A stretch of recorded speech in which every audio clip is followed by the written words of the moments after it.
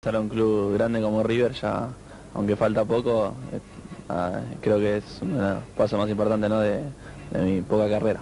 Bueno, antes de tratar de mantenerse en primera, de jugar, a, a llegar a River y bueno, tratar de pelear campeonato, va a ser diferente, ¿no?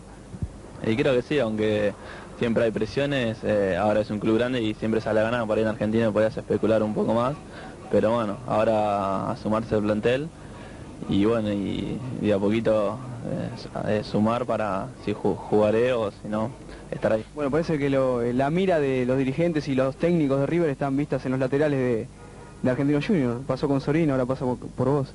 Sí, creo que es casualidad, ¿no? Pero um, por suerte, igual que Juanpi, le, le tocó ir a River, a un club grande.